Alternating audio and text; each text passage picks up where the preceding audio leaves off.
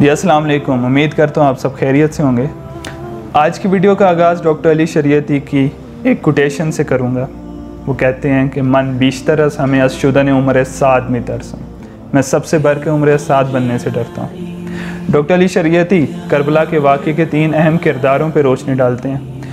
वो कहते हैं कि, पहला किरदार हुसैन इबन अली, जिसने बातिल और ालिम के आगे बैत नहीं की, जिसने अपने सहाबा और अपनी औलाद को कुर्बान कर दिया और ख़ुद भी खुदा की राह में कुर्बान हो गए। दूसरा किरदार यजीद का, जिसने ताकत और दौलत के नशे के अंदर ओहद और बदर के बदले लेने पे तुला हुआ है, जिसको अपनी ताकत और दौलत के नशे में बदले के लिए इतना ज़्यादा वो मोटिवेटेड है कि उसने कुछ भी करने के लिए तैयार है। रसूल की उम्मत को उसने शहीद कर दिया। तीसरा किरदार उम्र साद उम्र साद आठ मुहर्रम तक कंफ्यूज है, शक में है।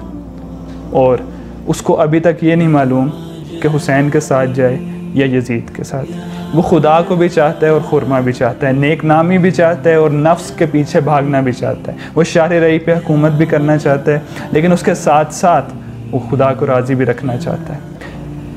उम्र सात करबला की वाक़े के अंदर वो शख्सियत है जो कुछ भी हासिल ना कर पाया, उसका हाथ खाली रहा।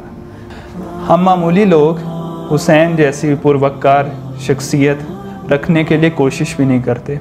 हम यजीद जैसी जुल्म और बरबरीत जैसा रवैया भी नहीं रखते। लेकिन अफसोस के साथ ये कहना पड़ रहा है, हम सब के अंदर एक चापलूस, नाकाम और मौका परस्त उम्र साद मौजूद है। चौबीस मुहर्रम चौबीस मुहर्रम जो गुज़र गए हैं मेरी ज़िंदगी के, मैंने कितनी दफ़ा उसने अपने अंदर उस उम्र साद को मारने की कोशिश की और अपने अंदर उस हुसैन के किरदार को तलाश करने की कोशिश की।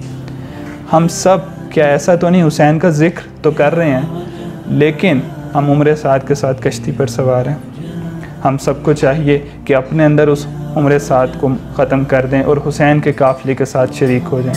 लेकिन अगर हम उस काफ़िले में शरीक होने की इतनी अहलियत भी नहीं रखते तो कम अज़ कम हम जहैर इबन कैन की तरह मौला हुसैन के काफ़िले के नज़दीक अपना पराव कर लें, वहाँ पर अपना खेमा लगा लें, ताकि कभी ना कभी इमाम हुसैन इस्लाम हमें आवाज़ दे के बुला लें और हमें अपने काफ़िले में शरीक कर लें।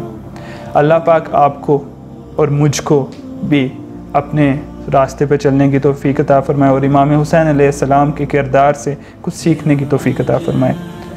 शुक्रिया।